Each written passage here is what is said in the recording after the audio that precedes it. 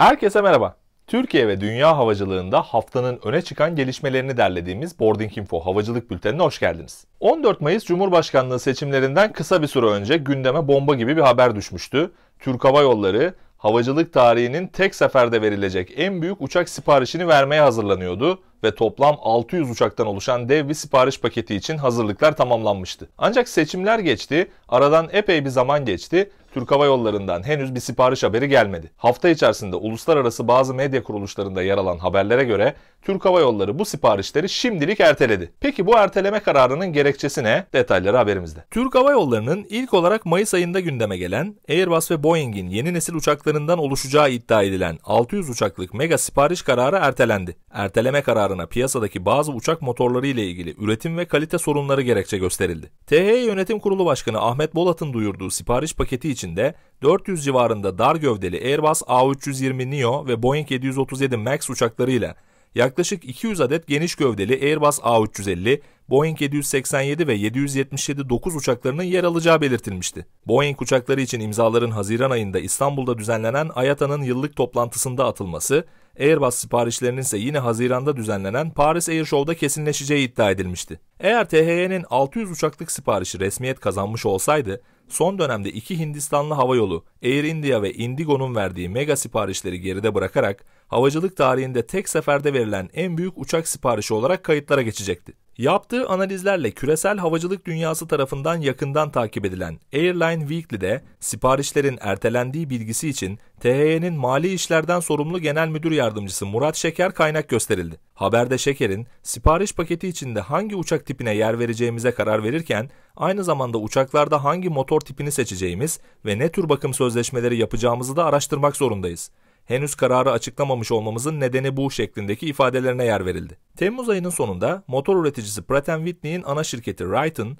A320 Neo ailesi uçaklara güç veren yaklaşık 1200 adet PW1100G turbofan motoru geri çağırdı. Sorun yüksek basınç türbin disklerinin beklenenden daha hızlı aşınmasına neden olabilen ve toz metalde nadir görülen mikroskobik düzeydeki çatlaklar olarak açıklandı. Geri çağrılan motorlardan 200'ünün Eylül ayına kadar detaylı inceleneceği söylenirken tüm motorların gözden geçirilmesinin ise bir yılı bulacağı tahmin ediliyor. A320 Neo ailesi uçakları PW1100G veya CFM International üretimi LEAP 1A motorlarından güç alıyor. PW1100G motorlarının geri çağrılma kararı dünyanın dört bir yanındaki hava yollarını operasyonel kesintilerle karşı karşıya bıraktı. Birçok havayolu uçuş programlarını geliştirme ve filolarını büyütme planlarını revize etmek zorunda kaldı. Motor probleminin dünya genelinde 57 havayolunu etkilediği iddia ediliyor. THY'nin 600 uçak siparişi haberlerinin 14 Mayıs'ta gerçekleşen Cumhurbaşkanlığı seçimi öncesinde gündeme getirilmesi ve seçim sonrasında sessiz sedasız ertelenmesi pek çok kişi tarafından seçim sürecinde hükümete destek amaçlı olarak ortaya atıldığı yorumlarına neden oldu. Havacılık dünyasında uzun zamandır pilotsuz yolcu uçakları tartışılıyor.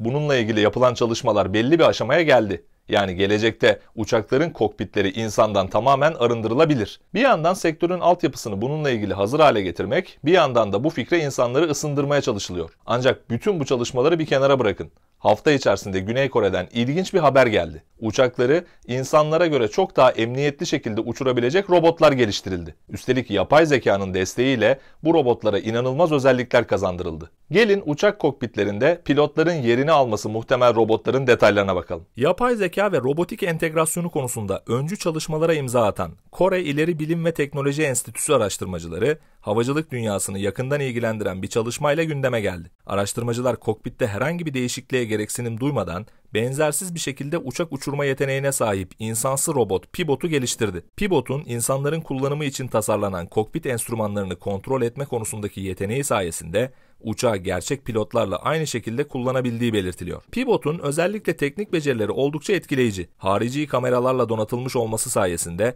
uçağın durumunu sürekli olarak izleyebiliyor. Dahili kameraları ise temel kokpit enstrümanlarını yönetmek için uyarlandı. Pivot seyir esnasında oluşabilecek yoğun titreşim koşulları altında bile kokpit enstrümanlarını etkin bir şekilde yönetmek için yüksek hassasiyetli kontrol teknolojisini kullanıyor. Pivot'un öne çıkan en önemli özelliklerinden bir diğeri de Jepson adı verilen küresel havacılık seyir sefer haritalarını saklamasına izin veren geniş hafıza kapasitesi. Bu insan pilotlar için asla ulaşılması mümkün olmayan bir özellik olarak kabul ediliyor. Pivot'un pilotlara göre sahip olduğu uyarlanabilirlik avantajları da oldukça önemli. Pilotlar uçak türleri arasında geçiş yaparken yerleşik alışkanlıklarla boğuşuyor. Pivot uçak türü seçildikten sonra anında sorunsuz bir şekilde yeni uçağa geçiş yapabiliyor. Hiçbir uyum süreci ve adaptasyon sorunu yaşamıyor. Büyük dil modellerinde yaşanan gelişmeler Pivot'un öğrenme yeteneklerini hızlandırdı. ChatGPT gibi yapay zeka teknolojilerinin de sisteme entegrasyonuyla çok büyük bir ilerleme kaydedildi. Pivot'un büyük dil modelleri konusundaki verimliliği hatasız uçuş operasyonları sunabilmesini sağlıyor. Acil durumlarda anında tepki verebiliyor, uçağın operasyonel manuellerine hızla erişebiliyor ve hatta uçağın durumuna göre en emniyetli rotayı gerçek zamanlı olarak belirleyebiliyor. Araştırmacılar şimdi Pivot için özel olarak uyarlanmış bir dil modeli geliştiriyor. Bu durum Pivot'un internete bağımlı olmadan pilotaja dair kendisine has bilgilere odaklanarak sorgulama yapıp karar verebilmesini sağlayacak. Robotun çok yönlülüğü doğrudan uçakla iletişime ve hatta ses sentezi yoluyla hava trafik kontrolörleriyle etkileşime kadar uzanıyor. Üstelik Pivot'un uygulamaları gökyüzüyle sınırlı değil. 65 kilogram ağırlığında ve 160 santimetre boyunda olan Pivot'un tasarımı otomobil sürücülüğünden deniz araçlarının komutasına ve savunma sanayi projelerine kadar uzanan farklı rollerde kullanılmasını da kolaylaştırıyor.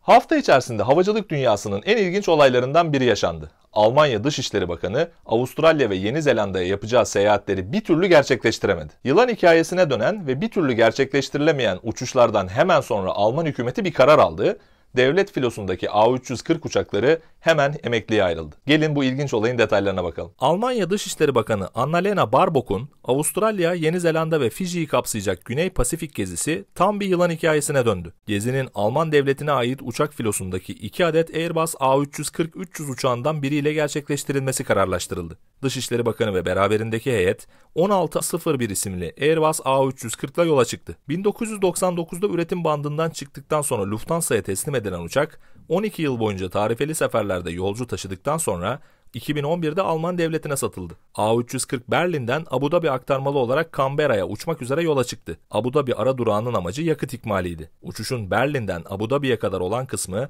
6 saat 24 dakika sürdü ve her şey son derece rutindi. Yakıt ikmalinin ardından A340 Canberra'ya gitmek üzere yeniden havalandı. Ancak kalkıştan hemen sonra kanatların üzerindeki hareketli kontrol yüzeyleri flapların toplanması ile ilgili bir mekanik sorun yaşandı. Kokpit ekibi Abu Dhabi'ye geri dönüş kararı aldı. Uçağın ağırlığı olması gerekenin çok üzerinde olduğu için havada yaklaşık 80 ton yakıt boşaltılması gerekiyordu. A340 kalkıştan yaklaşık 2 saat sonra tekrar Abu Dhabi'ye indi. Uçağa yapılması gereken bakım onarım işlemleri nedeniyle Dışişleri Delegasyonu'nun tamamı geceyi Abu Dhabi'de geçirdi. Ertesi gün uçağın Abu Dhabi'ye ilk teker koymasından yaklaşık 19 saat sonra A340 Canberra'ya gitmek üzere yeniden havalandı. Ancak bir önceki seferde yaşanan mekanik arıza yeniden tekrarladı. Uçaktan bir kez daha yaklaşık 80 ton yakıt boşaltılmak zorunda kalındı. Uçak kalkıştan yaklaşık 2 saat sonra Abu Dhabi'ye yine acil iniş yaptı. Bunun üzerine Dışişleri Bakanı'nın Güney Pasifik gezisi iptal edildi. Alman hükümeti devlet filosundaki 2 adet Airbus A340 uçağını emekliye ayırma kararı aldı. Uçakların bu yılın sonunda ve gelecek yılın başında emekliye ayrılması gerekiyordu. Ancak yaşanan olay üzerine uçakların emeklilik süreçleri hızlandırıldı ve önümüzdeki haftalarda hizmet dışı bırakılmalarına karar verildi. Alman hükümeti kısa süre önce eski A340'ların yerine 3 adet Airbus A350-900 satın almıştı.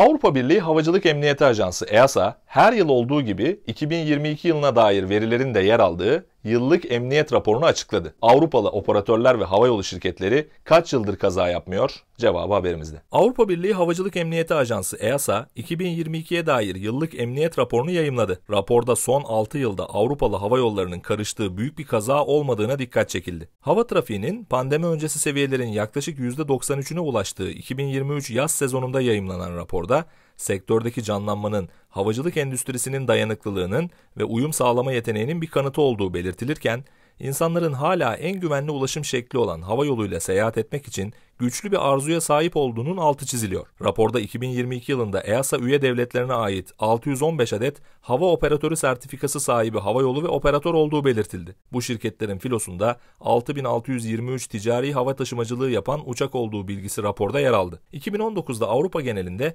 585 adet EOC sahibi operatöre ait 7017 uçak bulunuyordu. 2022 yılında Avrupalı hava yollarının karıştığı tek ölümlü kazayı yerde yaşandı. TAP Air Portugal filosunda bulunan Airbus A320 Neo, Gine'nin başkenti Conakry havalimanına iniş yaptıktan sonra pistte illegal şekilde karşıdan karşıya geçmeye çalışan bir motosiklete çarptı. Kazada motosikletteki iki kişi yaşamını yitirdi. 2022 yılında dünya genelinde yaşanan ölümlü uçak kazalarında hayatını kaybeden 175 kişinin yaklaşık dörtte üçü 21 Mart'ta Çin'de yaşanan uçak kazasında yaşamını yitirmişti. Rapora göre 2022'de 13 ölümcül olmayan kaza ve 51 ciddi olay meydana geldi. Bu da geçtiğimiz yıllara göre yaşanan olay sayısında net bir düşüşü ifade ediyor. Ciddi olay oranının 2022 yılında EASA'nın ilk kez bu olayları kaydetmeye başladığı 2019'a göre de azaldığı görüldü. Oran 2019'da milyon uçuş başına 11,5'tan 2022'de milyon uçuş başına 9.6'ya düştü. Kaza oranı 2021'de gerçekleşen milyon kalkış başına 3.9'a kıyasla 2022'de milyon kalkış başına 2.6'ya düştü. EASA raporu ayrıca 2022'de seyir irtifasında iniş, yaklaşma ve kalkış aşamalarında daha fazla sayıda kaza ve ciddi olay meydana geldiğinin altını çizdi. Bu kaza ve ciddi olayların 60'ı yolcu uçaklarında yaşanırken 4'ü de kargo operasyonları sırasında yaşandı. Güvenlik problemleri ve yolsuzluk vakalarının giderek arttığı Meksika'da Devlet Başkanı López Obrador ilginç bir karar aldı. Ülkenin başkenti Meksiko City'deki havalimanı da dahil olmak üzere ülke genelindeki pek çok havalimanının kontrolü orduya bırakıldı. Peki geçiş süreci nasıl gerçekleşecek? Ordunun havalimanlarının kontrolü eline alması havacılıkta neleri değiştirecek? Gelin detaylara bakalım. Meksika'da son dönemde artan şiddet olayları ve ülke genelindeki güvenlik algısı ile ilgili endişelere yanıt olarak Devlet Başkanı López Obrador, askeri kuvvetlerin ülke çapında konuşlandırılması için düğmeye bastı. Bu kapsamda ülkenin başkentinde bulunan Meksiko City Benito Juarez Uluslararası Havalimanı da dahil olmak üzere çok sayıda havalimanının kontrolünün Ekim ayının başına kadar orduya devredilmesi kararı alındı. Ordunun kontrolüne bırakılması planlanan havalimanları arasında Texas sınırındaki Matamoros ve Meksika körfezindeki Playa del Carmen'de bulunuyor. Ayrıca Felipe Angeles ve Tulum Uluslararası Havalimanları gibi projelerin yönetimi de Milli Savunma Bakanı'nın yetkisi altında olacak. Bu süreç yaklaşık bir yıl önce Meksika donanmasının Meksiko City Havalimanı'nda güvenlik kontrollerini devralmasıyla başladı. Önümüzdeki günlerde ordu gümrük ve pasaport kontrolünden bagaj taşıma ve temizliğe kadar diğer tüm departmanların sorumluluğunu da aşamalı olarak üstlenmeye başlayacak. Havalimanlarının kontrolünün orduya devredilmesinin ana sebebinin uyuşturucu kaçakçılığı ve yasa dışı göç sorunlarına çözüm getirmek olduğu iddia ediliyor. Aynı zamanda son yıllarda raporlanan çok sayıda Ramakkala olayının ardından havalimanlarının altyapısı ve hava trafiği yönetimini de iyileştirmeyi amaçlıyor. Ordunun kontrolü almasıyla sık sık tekrarlanan çalıntı bagaj olayları, uçuş programlarındaki kesintiler ve yolsuzluk nedeniyle çok ciddi şekilde zarar gören havalimanlarının itibarının yeniden artırılması umuluyor. Alınan bu radikal kararın uçuş operasyonları ve yolcu deneyimleri üzerinde olumsuz etki yaratmayacağı özellikle vurgulanırken, yolcuların havalimanındaki yönetim değişikliğini fark etmeyeceği söyleniyor havalimanlarında üniformalı şekilde yalnızca havalimanı güvenliğini sağlamaktan sorumlu 1500 denizci dolaşacak. Personelin geri kalanı sivillerden oluşacak. Meksika donanması havalimanlarını yönetmek için Cassiopeia isimli özel bir şirket kuracak. Şirketin 2024'ün sonuna kadar ondan fazla havalimanının kontrolünü alması bekleniyor. Meksika ordusu ayrıca bu yılın sonuna kadar kendi ticari havayolu şirketini de işletmeye başlamayı planlıyor. Bu proje için eskiden Meksika'da operasyon yapan Meksikana Hava Yolları'nın tüm hakları satın alındı. Son dönemde Meksika hava alanlarındaki yolsuzluk seviyeleri öyle bir düzeye ulaştı ki bagajların inceleme için alıkonulmasını önlemek üzere havalimanlarının dahili iletişim sistemleri kullanılarak şifreli mesajlar gönderiliyor, uyuşturucu sevkiyatı ve her türlü kaçakçılığa izin veriliyordu. Bu nedenle ABD Federal Havacılık İdaresi FAA, 2021'de ülkenin havacılık emniyeti notunu düşürerek Meksikalı hava yollarının ABD'deki operasyonlarının genişletilmesini engelledi. Donanmanın Meksiko City'de güvenliği devraldığı Şubat 2022'den bu yana havaalanı içindeki birkaç yasa dışı işletme kapandı ve çalınan bagaj sayısı azaldı.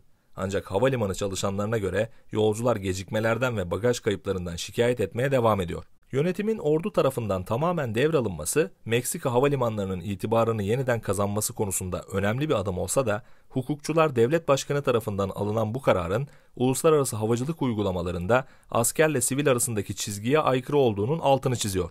uzmanlara göre Meksika havacılığının küresel rekabet içinde daha iyi bir konuma gelebilmesi için ihtiyacı olan şeyler daha fazla para, eğitim ve teftiş. Geride bıraktığımız hafta Türkiye ve dünya havacılığında en çok bu konular konuşuldu. Bizler önümüzdeki hafta yepyeni bir gündemle ve yepyeni bir bültenle karşınızda olabilmeyi umuyoruz. Bizi izlediğiniz için teşekkür ederiz. Videomuzu beğenmeyi, kanala abone olmayı ve tüm bildirimleri açmayı lütfen unutmayın. Paylaştığımız tüm bilgiler ve çok daha fazlasına web sitemiz ve sosyal medya hesaplarımızdan ulaşabilirsiniz. Bir sonraki videoda görüşmek üzere. Hoşçakalın.